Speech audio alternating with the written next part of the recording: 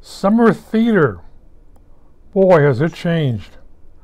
Um, on me, I had did summer theater stock, and you had a little stage and what have you. Not anymore. There's an LED in back, big screen. So there's very well close up on people right now. They still have a little microphone right now, but close ups. And you're not looking just at the stage, but right above them.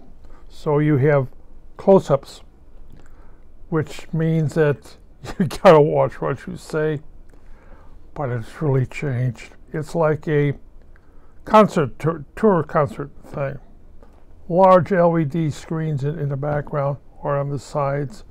You get to be close and personal with the actor or the singer or the dancer.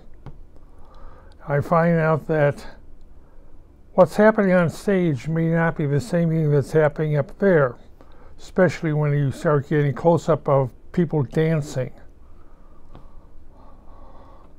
and, and facial expressions. Wow. Theater, summer theater is not the same as when I was growing up.